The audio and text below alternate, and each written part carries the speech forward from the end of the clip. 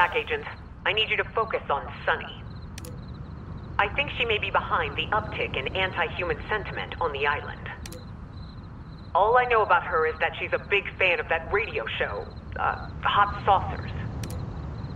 Catch up on the show. Learn the lingo. Earn her trust.